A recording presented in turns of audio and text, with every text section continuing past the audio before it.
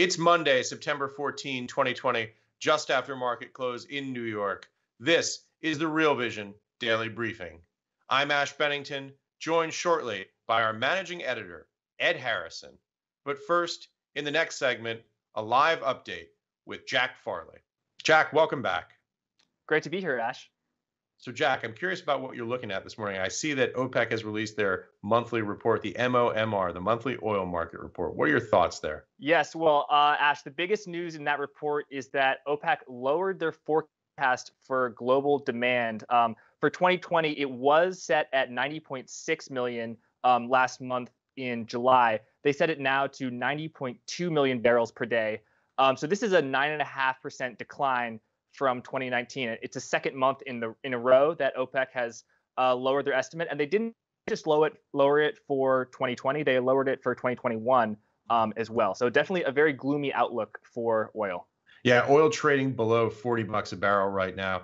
Uh, Brent at 39 spot 77 uh, as we roll into the close in the afternoon, and WTI at 37 spot 35. Jack, I'm also curious what were your takeaways on the supply side from the report?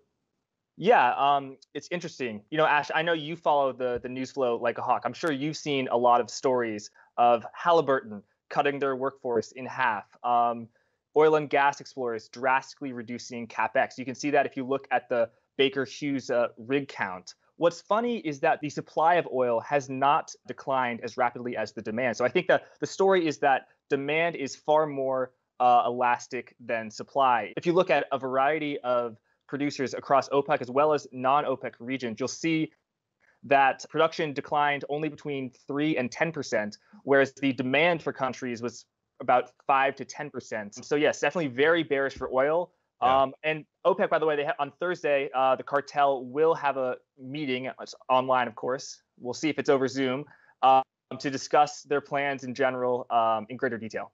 Well, you know that makes sense, Jack. The I'm not an oil maven by any means, but you know this isn't just a widget factory where you're stamping out widgets and you can you know basically tell the workers on the line to go home. You have a physically pressurized commodity underground. You have an elaborate infrastructure for extracting it. It probably makes sense that the supply uh, is more inelastic than demand. Jack, anything else you're looking at in the oil markets? Yeah, Ash, it's interesting. Uh, the report from OPEC wasn't the only report that came out today that was bearish on oil um, BP released a report that also painted a, a grim uh, picture for oil. Um, they had four scenarios uh, ranging from business as usual to rapid decarbonization. Um, and across them, they, they had projections that uh, indicate a two and a half to three and a half drop in GDP all the way through 2050. So I've seen projections like this before, um, but they usually come from you know a, a, green energy think tank or something like Bloomberg New Energy Finance. It's quite interesting to see this come from an oil company itself. Yeah. Interesting for a couple of reasons. First, as a proxy for aggregate demand, and second, as an index of what may be happening on the decarbonization front. Definitely. Jack, as always, great stuff. Thanks for joining us. So great to be here, Ash. Uh, enjoy your talk with Ed. Thanks, Jack. Welcome back, Ed. Yes, good to talk to you, Ash. And uh, you know what's on my mind? Actually, just before this, I was looking at uh, Chelsea uh, 1-0 at halftime against Brighton. Brighton at home, Chelsea away. The Premier League has begun. So this is a new season. This is like the 2021 season. That's right. 2021 uh, season of the Premier League has begun just after you know the Champions League was over. So it's all it's like nonstop soccer now, nonstop football. No rest for the wicked. No, and also when I say nonstop football, American football as well, of course, uh, just kicked off. Indeed. So I know that people came here to hear markets, so I'm going to stop with the the, the banter about uh, sports. But uh, you know, well, we, we do have other lives. I was going to say we've got plenty of wonkiness to delve into today. Oh yeah, definitely, without a doubt. So start us off. What are you thinking about? Yeah, so I was telling you uh, before we got on, I was talking about, I, I wrote a post on Credit Writedowns about this so called retail investor led speculative mania uh, and worries about that. And it was generated by I thought a really good Odd Lots podcast from Bloomberg. This is a podcast that they do I think twice a week with Joe Weisenthal and Tracy Alloway. They had a guy on who was talking about options, uh, Benn Eifert, and he really broke it down really well in terms of thinking about. Uh, this whole short gamma thing that we were talking about two weeks ago, and also uh, where retail investors fit into that. Yeah, um, it it really is an interesting podcast. I had a chance to listen to it, uh, and I actually read uh, the Credit Writedowns. Lots of questions, maybe more questions than answers. Yeah, I, you know, I think that the way I'd frame it when we have the conversation today is we can talk about it within the context of historical precedent, thinking about that, not just drilling down into the the weeds of options pricing and delta hedging and gamma, but you know what this all means in terms of where we are in, in, in the cycle. Right. And that's exactly how you start out the Credit Writedowns note. So give us a little bit of the historical context that led to your thinking right now. Yeah. So uh, the historical context is I get the sense, uh, uh you know, let me just back up and say that some of the stuff that Benn Eifert was talking about made me think about me 20 years ago, 25 years ago during the internet bubble and the kinds of things that I was doing as a relatively novice investor and the things that he was talking about people doing now the equivalent things that i would have been doing and people who i know would have been doing back then. Uh, now we have different instruments but it was l- relatively speaking the same kind of you know wrong position sizing you know massive speculative uh, activity that we see today and I, and the light bulb went off for me. I was like, ding, ding. You know, the people who are doing it today are not the same people who were doing it 20, 25 years ago. They're different people. They're new people. And it seems like every generation there's a, a bubble of sorts. And I go through, you know, in the United States history in terms of the panics the bubbles that ended in panics in the 19th century and the early 20th century. You had the 1819, 1837, 1857, 1873, 1893, 1907. Then uh, 1907 was so bad when J.P. Morgan had to intervene. We got the Federal Reserve. People thought central bank that will do the trick. The first, uh, uh, the Roaring Twenties, the first big bull market ended in the Great uh, Depression.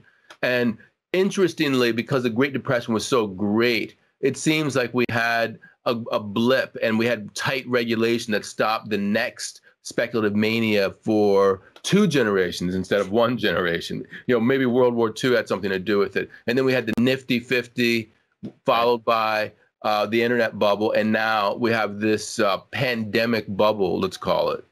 Yeah.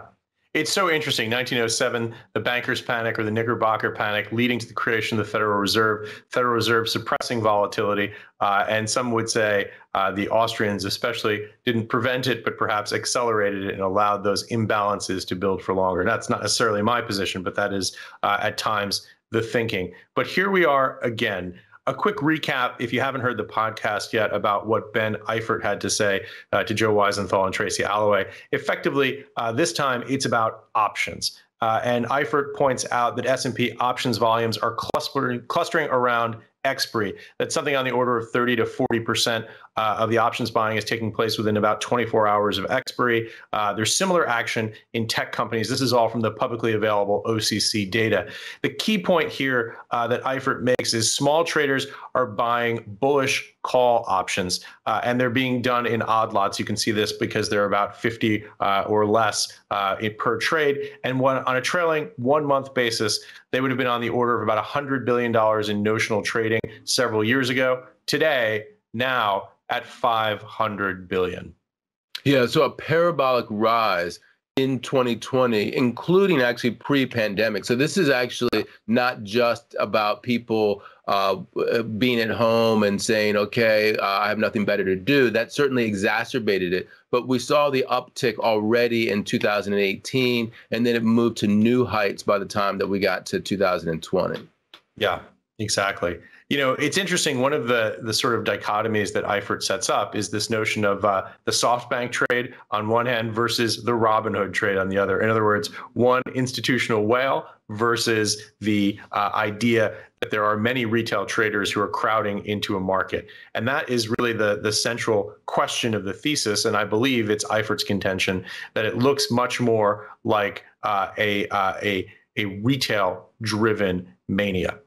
Yeah, I think there are two parts to that. One is that, you know, when I think back to the late 90s in terms of the option buying that I would have done, uh, early 2000s, or that people I know would have done, we were talking about month expiries, you know, one month out, th- uh, three months out, six months out, things of that nature. But now we have a much more uh, proliferated market in terms of options. You can take overnight positions, you can take two-day positions. Uh, you, the the gamut you can run the gamut in terms of how short, weak positions, etc. And so the uh, the the most important thing to understand is is is that you know wh- whoever's on the other side of these positions that are, are being taken are is they're usually having to hedge out their the, the delta the change yeah. that is associated with when the, the price of the underlying stock moves. So you're buying this option, and it's not necessarily another retail investor on the other side. It's usually a, a, market maker who doesn't want to take a position.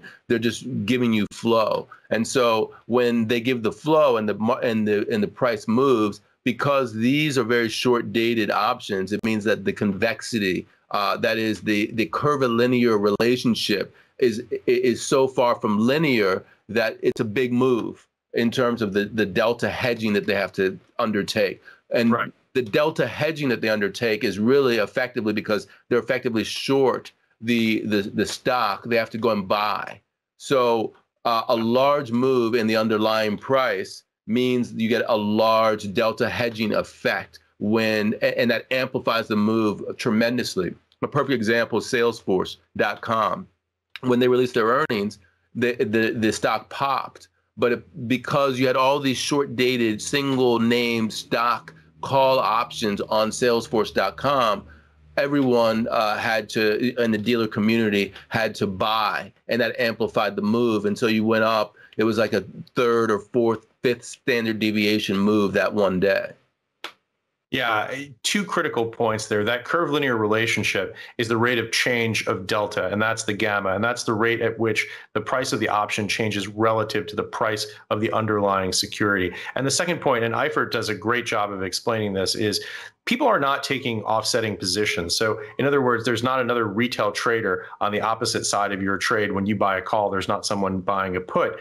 There's a broker dealer in the middle, and they have to hedge that position. And the rate at which they need to hedge that is related to the delta. So, in other words, the degree to which the it, the the price will change in the option is the degree to which that they need to be hedged. Uh, so they don't have to fully hedge that position. If you buy 100 calls, they don't have to buy 100 shares of the underlying. And this is really what makes this such a challenging situation to understand because there really are kind of multiple levels of variables here uh, and frankly derivatives of derivatives which gets a little bit complicated if you're not used to thinking about it yeah, and so obviously, if you're a retail investor, then uh, that complication uh, you miss that completely. Right. Uh, so exactly. in a different market environment, you could be caught blindsided. You know, because obviously, you know, this curvilinear relationship uh, is there for the downside as well as the upside. So that's what we saw. We saw a massive uh, retrenchment in terms of all, all, this call buying in the last week. There, it was a great chart that uh, Eifert put up showing uh, what the, the numbers look like. It was a parabolic rise, and then you know about halfway down, you came in terms of the the retail investment uh, call buying for the last week when everything was was going pear shaped. The yeah. the interesting bit for me uh, there was in terms of the getting uh, talking about the options whale, SoftBank not being in the options whale, is, right. is that SoftBank they, they were doing a strategy that was more traditional in terms of the length of the option that they were buying. They were buying these these call spreads, you know, three months out, as an example. Uh, you would say August to November. Right. And, and that's lower lower convexity.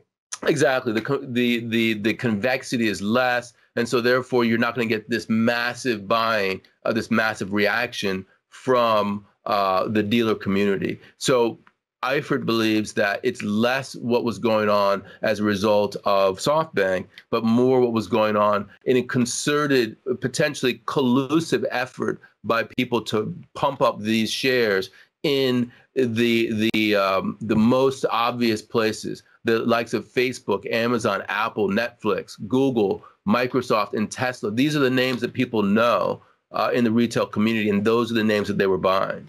Yeah, exactly.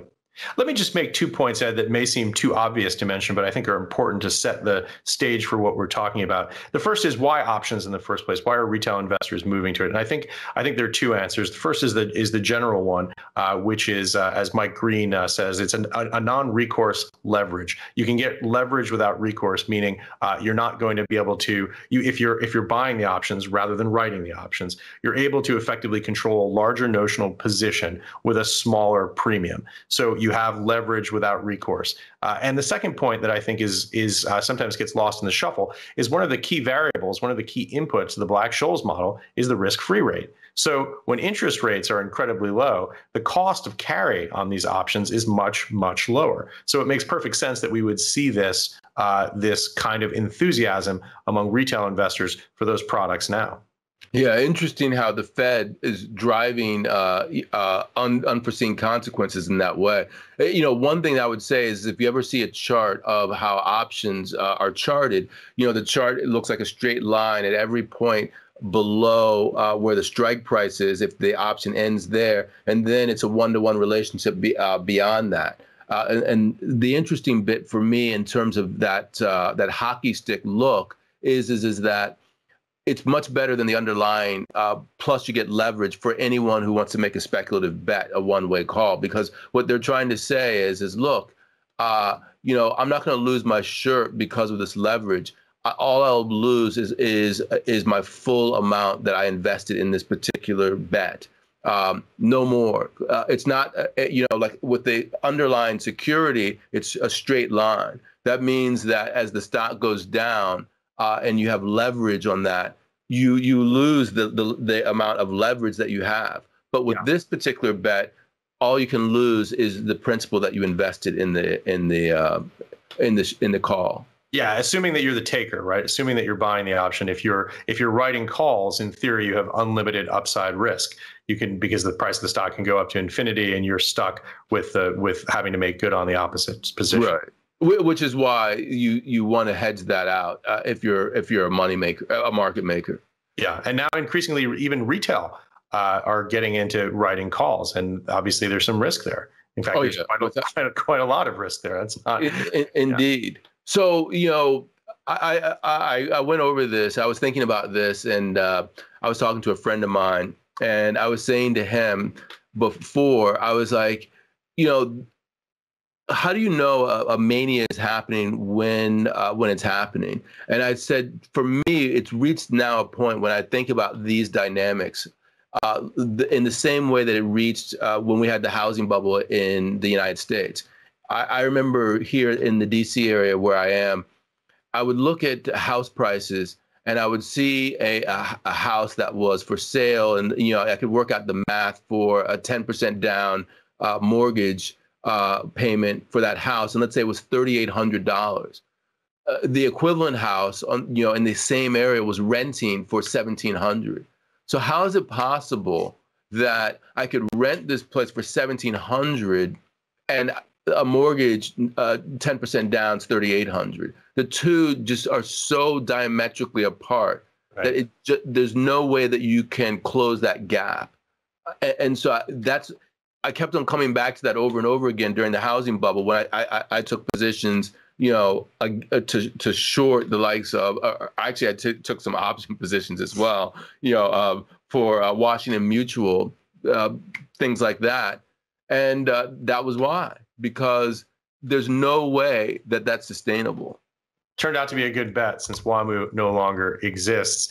And I thought that was so well said. Uh, it really is the perfect metaphor for this. It isn't uh, quite a one to one correspondence in that, you know, it's not a derivative, but it gives you a sense mentally, if you're not like deep into the options math of understanding how you can look at numbers and see an imbalance between the, for example, the the the uh, rental price and the purchase price of a home. And and you said earlier, look, uh, you know, there are things you can do with a home. Uh, you can you know you can knock it down, you can expand on it. You you mentioned a whole list of other things that you can do to it. But when the premium is that significant over the rental price, that's not what we're talking about, right? That's something completely different. That is uh, that is a, a dynamic of a market that looks to be lopsided. Yeah, and and so then the question is is you know what happens? How, when does that market go down? And I think this is the interesting bit for me because we're in an unprecedented period in many ways. I look back at the data that I had that was available to see you know around recessions what happened. So we're in the worst uh, post World War II economic downturn that we've ever seen. Uh, we're we're out of that now. We're in sort of a rally period but you know the the the global re- recession was the worst that we've ever seen. And when you looked at U.S. recessions in the past, uh, what you see is is is that the market goes down uh, even before the recession begins, and uh, it continues to go down through the recession. It's when the recession is over or right about around that time that it, then it bounces back.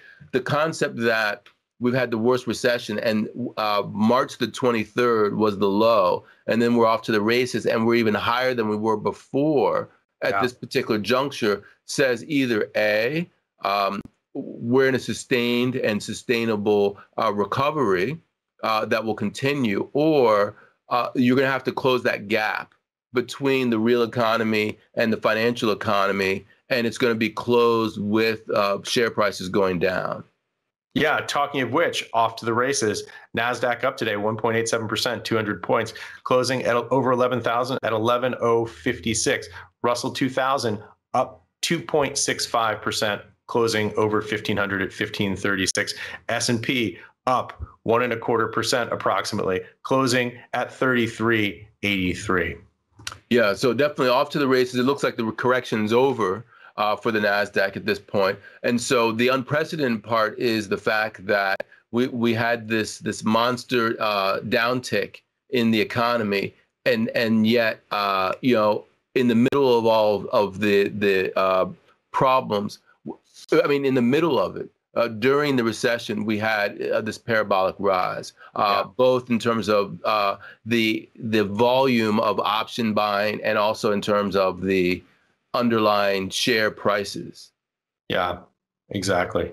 You know, this has got me thinking about something, Ed, uh, and that is uh, who's benefiting from this? Quo bene, who's who's really benefiting from this? And I think the reality is uh, that sophisticated investors uh, especially hedge funds, CTAs, uh, people who have the ability to hire uh, folks with PhDs in uh, applied mathematics and physics and nonlinear dynamic systems, people who have the money to invest in technology like AI to sort out these correlations are probably doing gangbuster business right now and they're probably not talking about it very loudly would be my guess you know it's really interesting if you think about uh, the series of scandals we had a few years back with the uh, with the specialist networks we know that the uh, that the trajectory of future earnings are very difficult uh, to predict. In fact, we saw some of the uh, some of the top hedge funds uh, on Wall Street getting embroiled in scandals around buying potentially, allegedly, material non public information. We had people indicted, uh, we had people convicted, some folks went to jail for it.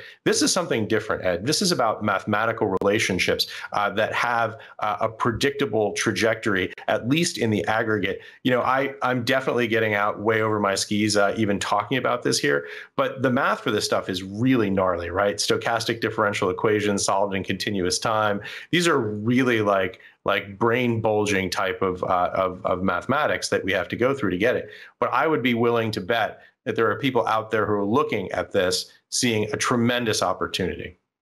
Yeah, uh, they, they are. Uh, the question, though, of course, is is when does that opportunity crystallize in terms of profits for them? Because right now, uh, if you are uh, one of these retail investors, uh, many of times you're you're you're doing well. Um, so yeah. it, will continue until it doesn't continue. Uh, and, and I think the question for people like yourself and for me is is uh, uh, what makes us think that we uh, we know more? maybe this time is different. Maybe it won't end in tears this time. Maybe you should suspend disbelief and you should say to yourself that actually you can close that gap, just like the proverbial 3,800 to 1,700 gap gets closed by uh, the market trading sideways for a period of 10 years while uh, things catch up. That's the kind of thinking that you have to go through in order to uh, to come out with a, a, a, situation in which this doesn't end, uh, you know, with a, a, a very sharp correction, uh, sharp bear market. I had the feeling you had something else to add beyond that because I know maybe this time is different, Ed. I have a feeling there's another shoe to drop. Yeah, I think that there is another shoe to drop. I think that uh, y- you know we we just we're we're in unprecedented times, but you do have to leave the possibility open. Yeah. That because uh, this is unprecedented in terms of the kind of activity that we're seeing in the middle of a of a recession, a pandemic, that perhaps uh, the outcome will be different as well. Yeah. So, what are your thoughts, Ed? How does this shake out? What are you going to be looking for to understand the trajectory? And what do you think the scenarios are on the back end here?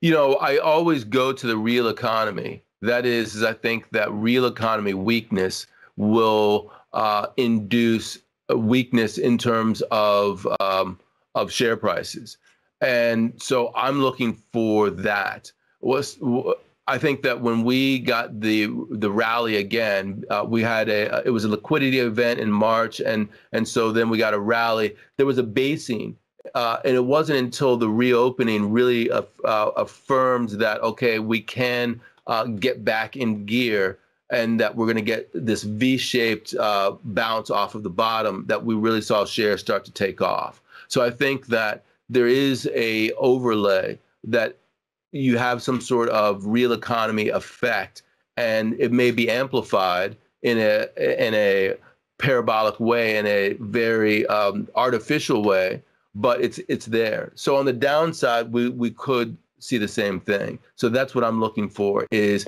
to see what if any kind of economic weakness, any kind of earnings weakness that we would have, and to see that play through in terms of we can't just have multiple expansion even when uh, earnings and the economy are down. I think that's that's what the catalyst will be. Ed, as always, well said. Thanks, Ash. And just to reiterate, we're not oracles. We don't know any more than anyone else does, but historical precedent says that manias don't end well. Yeah unfortunately, I suspect that will remain true uh, for the time being and probably into the future.